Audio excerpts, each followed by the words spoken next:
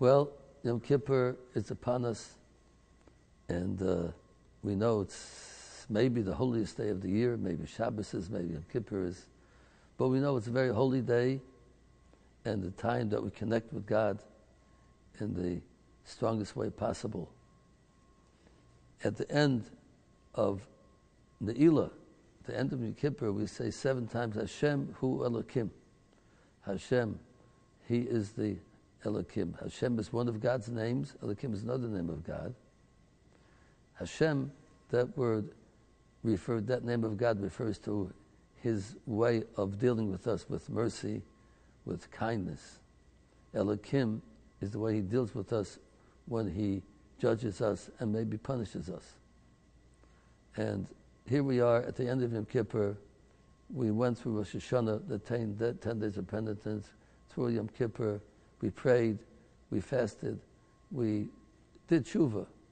And now God writes us down in His book what's going to happen to us the rest of the year. Do we know? We don't know. But we say to God, we have full faith in you. Even though Chas Shalom, maybe the year won't be as good as we'd like it to be, there might be certain challenges that we're not so uh, ready to uh, take upon ourselves, but we have to, like, like it or not. But we know that you have our best in mind. Hashem Hu Elokim.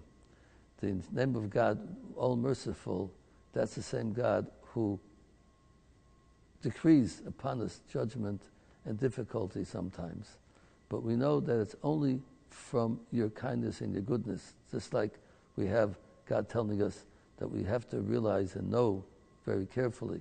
He tells us in Sefer Devarim, Deuteronomy, that you should know in your intellect, in your mind, you should feel in your heart that just like a father, a parent punishes the child, it's only because for their benefit.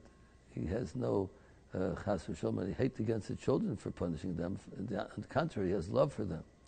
So if God does have to decree upon us difficulties, we know it's for our good, for us to grow from it, for us to become better people, for us to realize what life is all about, to, to shake us up a little bit, to give us a, a, shot in the arm, that we should think about what we're doing in this world, and it's for our benefit. So we say, Hashem Hu Elokim, uh, the, the, the, God of judgment is the God of mercy and kindness. We have full trust in you, God. We know that for our benefit, whatever you, you decreed upon us on Yom Kippur, we're ready to accept and to do our best to grow from it. So let's hope that God will give us a very good decree uh, for the whole year, and uh, we hope that uh, uh, uh, we'll be able to benefit from His kindness directly, but in case it's indirectly, we will accept it, and we know it's for our benefit, and we'll grow from it. Everybody should have a wonderful, sweet, wonderful year, a year of accomplishments, a year of nachas, a year of growing in our closest to Hashem and uh, we're looking forward to uh, having a wonderful relationship with God a whole year around. We won't forget Him after Yom Kippur. We'll keep Him in mind a whole year, and we'll have a wonderful, great friendship relationship with Him. Have a good year, everybody, and have an easy fast.